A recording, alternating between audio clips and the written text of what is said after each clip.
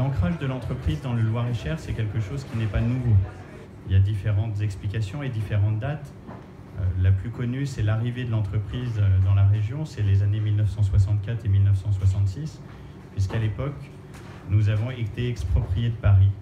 Donc après ici c'est une flacon, les opératrices alimentent en continu la, machine. Donc là elles le font à la main. D'ici peu il devrait y avoir une machine automatique qui doit arriver. Permet à, l'entreprise d'avoir une pérennité de- aussi longue. Alors aujourd'hui, deux éléments. Le savoir-faire de ces équipes, évidemment, puisqu'on est sur un métier très technique, la fabrication de médicaments injectables. Et donc ça, pour moi, c'est le premier élément déterminant. Et le deuxième, c'est ses partenariats, que ce soit avec ses fournisseurs ou avec ses clients. Alors aujourd'hui, ce qui est déterminant pour nous, c'est l'administration des prix au niveau national, puisque la plupart de nos médicaments sont remboursés, donc pris en charge par la sécurité sociale. On est à quelques jours euh, des débats sur le projet de loi de finances de la sécurité sociale à l'Assemblée.